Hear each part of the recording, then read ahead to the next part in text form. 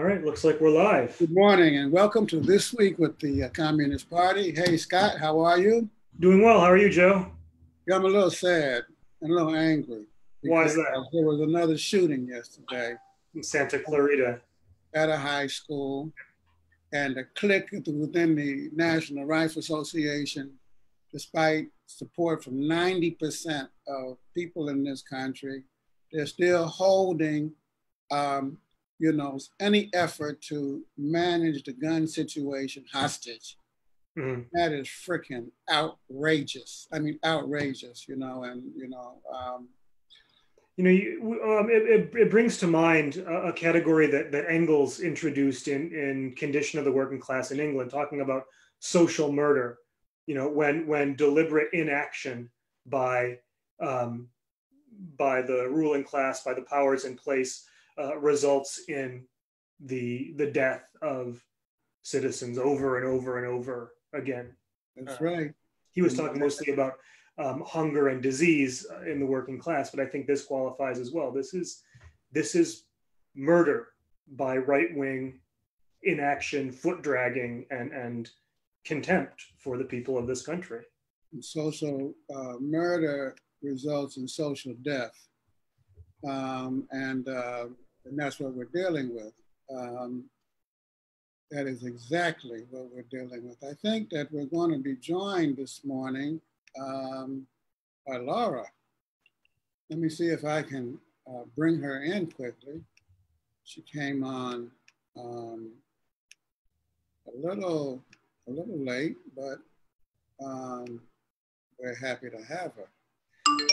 We're going to be talking uh, this. Good morning, Laura. Morning, Laura. Hi.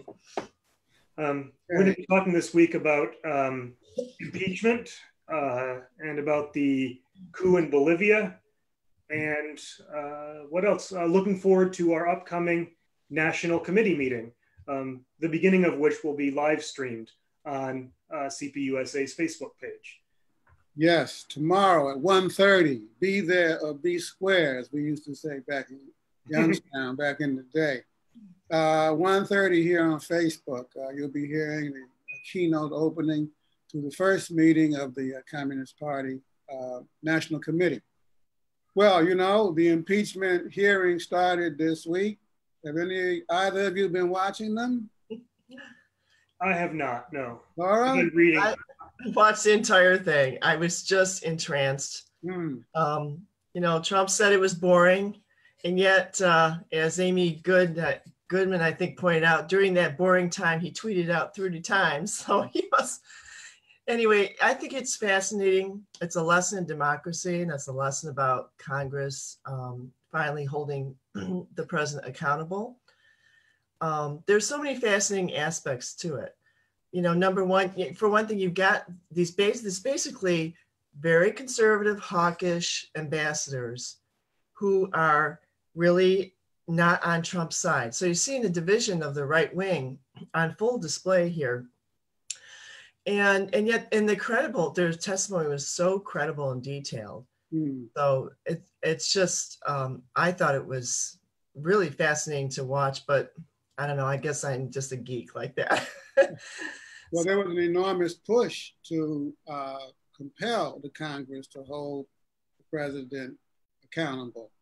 This would, yeah, this would not have been possible without the victory of um, progressive Democrats, um, people of color, trade unionists um, in the 2018 elections on the basis of a very broad mobilization. And the unifying thing was that the Trump regime has got to go. Uh, so this is, um, I think, in a very real sense, the the the fruit of of that victory. Um, Not just progressive Democrats. I mean, you know, a lot of the Democrats who were elected were elected, you know, in GOP districts mm-hmm. or swing districts, and they were centrists, you know, mm-hmm. and they were very reluctant to come on board, you know, which is another reason why Pelosi was holding back, you know.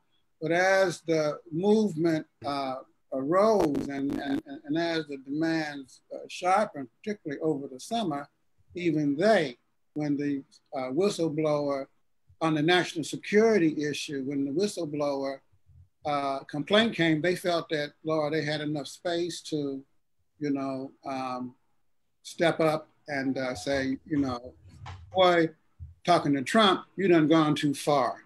Gone too far, and you need to be held accountable. Um, I think I, I, I, may be, you know, completely off base, but that's my estimate of the situation. Um, what did you say you were reading, uh, Scott? Oh, I, I was just, uh, I've been reading uh, the coverage of it. Um, for some reason, um, video is, is not my medium. I, I don't, uh, doesn't work well for me. I listened, I listened to it on the radio and cleaned my kitchen. I highly recommend multitasking because you're right. Sitting there and watching it, no way. I got to be doing something. Cleaning, cleaning house on both ends. Let's get it done. Hey, very good. Yeah, that's a good one. Get the old broom out. jokers, sweep them jokers out. I doubt they're going to be swept out, though. I think they're going to have to be kicked out, and I yep. doubt that it's going to be happen until uh, the election next year. But the important thing now, I think, is to create the atmosphere around the impeachment. You know, mm-hmm. uh, that you just can't leave it to Congress. Yep. You know what I mean? You just can't leave it to Congress. People got to be out on the street. Mm-hmm. You know, um, on the campuses, at the football games. I yep. saw a uh, a story about some students at a Southern University, and each one took uh, one letter of impeach Trump and put it on their jersey. that was a wonderful thing, and it made national news. And so it's those kinds of creative uh, things that are, are, are going to help, you know, keep the pressure on. I was out walking my dog this morning, and I saw a guy jogging in a, a, a bright fluorescent green impeach Trump T-shirt. Is that right? Yeah. There you go. In my in my little conservative town. Yeah. yeah. So hang a sign on a banner in the middle of a highway, send a letter to the editor. You can circulate a meme. By the way, we got two memes on the party uh, Facebook page. One says uh, time for a reckoning, and the other one just says impeach. Share it. And by the way, before I forget, hold a watch party. All you got to do is click on the button and you can invite your friends to watch their show and you can share it. And uh, that will also help keep the pressure on. Nothing that will make Trump and the ruling class more nervous than the growth of uh, the Communist Party uh, membership and circulation. By the way, have we ever invited anybody to join the Communist Party on this show? If not, I don't think we have oh my God, we're guilty of right opportunist social democrat. Liquidationism, Joe. Liquidationism. Yeah, you can join the party, you know.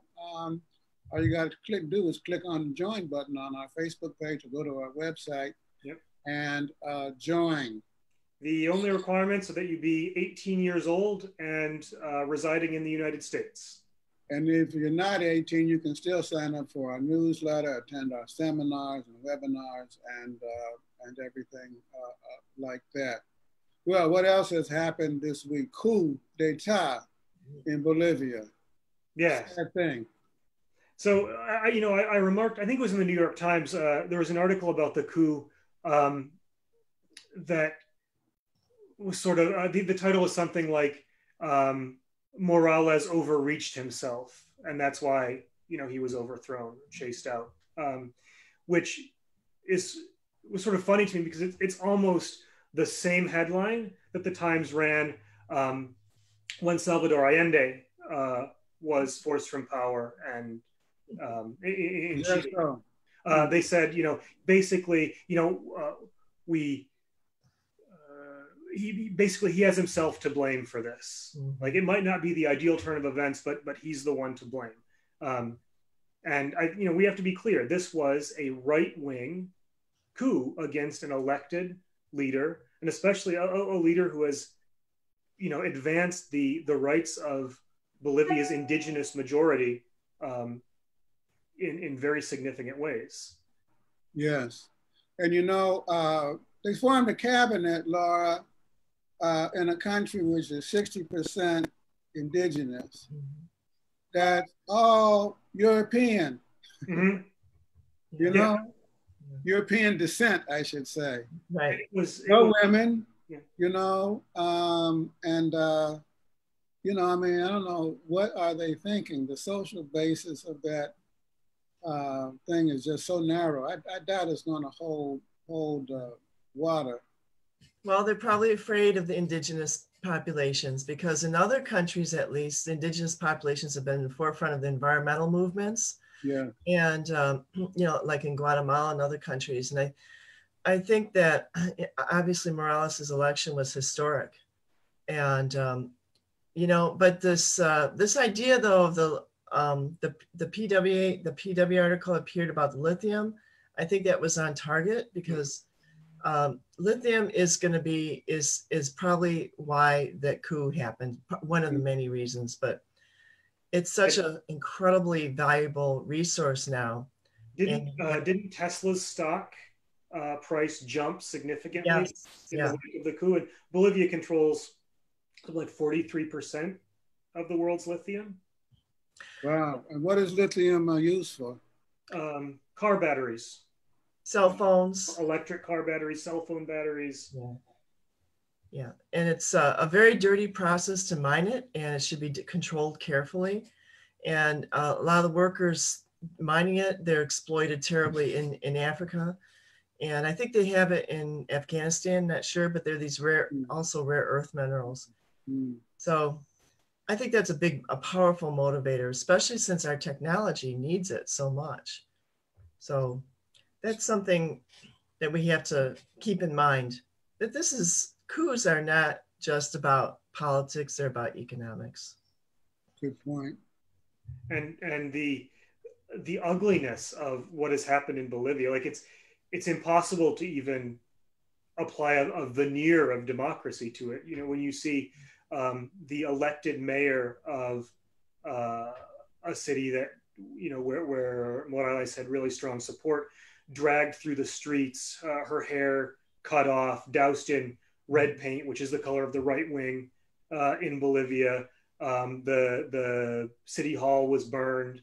Um, this is an ugly, vengeful uh, act against the left wing, uh, indigenous and indigenous led majority of, of, of, the Bolivian population. Yes. Well, I doubt that it's going to last, but we'll see. Um, that uh, country has a huge uh, backing, leadership of the country, the movement for socialism, socialism and the Communist Party. And we'll be hearing from the Communist Party, by the way. We've been in touch with them and we addressed some questions to them yesterday. And I understand uh, we'll be getting them back soon about what's taking place and what their uh, outlook uh, is. Uh, so for now, we send them our solidarity and, and support. And the most important contribution, because I think, uh, forget which one of you said it, uh, that we can make uh, is elections matter. And therefore, getting Trump uh, out of office will be extremely important. Um, but it's also really important to keep the pressure on and raise the issue of the United States' intervention in other parts of the world, because even the Democrats on, on this issue you know, uh, have to be uh, reckoned with. Um, and um, I think that that that that that U.S. military policy that's something that so far has not come up in the campaign. Mm. You know, in a, in a meaningful way, cutting the military budget. You know, uh, withdrawing U.S. troops from around the world. Um, even the uh, a notion that uh, we are the uh, you know, best country in the world, and we're the leaders of yeah, humanity. No, we and we all have some right to dictate uh, what other countries do in their defense policy and their economic policy. Uh, it's ridiculous. It's a it's a I don't know. Part of being a communist, I think, what leads people to the Communist Party is a, a hatred of double standards, and that's one of the most flagrant ones. Uh, Lord, why can't we just live side by side with other people, you know, in common cause, addressing the problems of the environment and, and uh, discrimination and, and uh, all of these kinds of things. I, I just think that we need a radical reorientation with respect to the, the United States' place on the planet. Am I wrong? No, you're not wrong. you know, I, I'll never, when I look at our armed forces and what they're doing and the potential they have for doing good, for example, why isn't, you know, I remember years ago when there was a terrible hurricane in Nicaragua, our army actually came in, helped them rebuild, or maybe it was else, you know what, I can't remember the country. But anyway, we, we helped build, you know, some of the housing. Rarely are our armed forces put in those kinds of positions for good.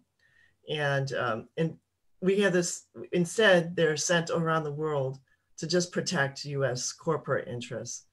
And we had to make it really clear it's not the interests of the American people at all. It's really just corporate interests. It's so blatant. And um, unfortunately, our media doesn't do a good job reporting on it, unless you listen to things like Democracy Now! or other things, or read the PW. But uh, yeah, it's such a waste of a human resource, in my opinion, is what they're doing, what our, what our government does with our army. Yeah, and it's I, I agree. I think it's it's a waste as well of, you know, people are are drawn to the armed services by a, a set of ideals like uh, uh, of service, of um, comradeship, of you know working together to to do something positive, and that gets that that goodwill and that that that does yeah that sense of duty and service gets taken and twisted into something uh, violent and and dangerous and um, yeah uh, by, by the ruling class. It's well we got a lot of work to do. Got a lot of work to do. And uh, you uh, scott and you laura have been busy doing some of that work this week by getting content up on the cpusa.org website there's a letter a new letter to the editor scott um, there's yeah, there's a, a new mailbag uh, touching on um, uh, uh, someone, uh, a young person, a high school freshman, in fact, asked if we were um, censoring uh, our uh, discussions by saying that anti-communist content was not welcome. Um, and let's see, we also reposted on Facebook a mailbag from a little while back about what makes a party revolutionary? What's the difference between calling for a revolution and making a revolution? Uh, and we also have a uh, statement on Veterans Day uh, from a few days ago, and a forthcoming one, I believe, on um, on impeachment. And have you uh, anything to add with regard to did, did that cover Laura the content that we got up this week? Yeah, yeah, I think it. I think it has. Uh, there's one more thing. Like I'm, it just flew out of my head. I'm sorry. Yeah, me too. No, you covered it. I think you pretty much covered it. Yeah. Very good. Well, once again, folks, we're going to uh, invite you to come back tomorrow, uh, Saturday at 1.30 Eastern that's uh, 12:30 uh, Central, and I think 11:30, uh, no, 10:30 uh, Pacific, to uh, hear the opening report to the Communist Party National Committee. And meanwhile, keep the pressure on. You know, let find some way to express your point of view to the public, either a letter to the editor, circulate a meme, sign a petition, go to a demonstration do something. You know, the people got to get organized. We got to get organized, organized, organized. I remember Stokely Carmichael took the name Kwame Ture, used to start off every speech, you know, we got to get organized, organized, organized. Whatever you do, join an organization. You know, I don't care what organization you join, join some kind of organization, do mm-hmm. something. And I think that that's an important uh, thing. Um, and, uh, and again, you know, we would like to invite you to join uh, the Communist Party. Um, well, I think that that's it. Does any, any other party shots? Going once, going twice. Have a good one. Take care. Peace. See ya. Bye-bye.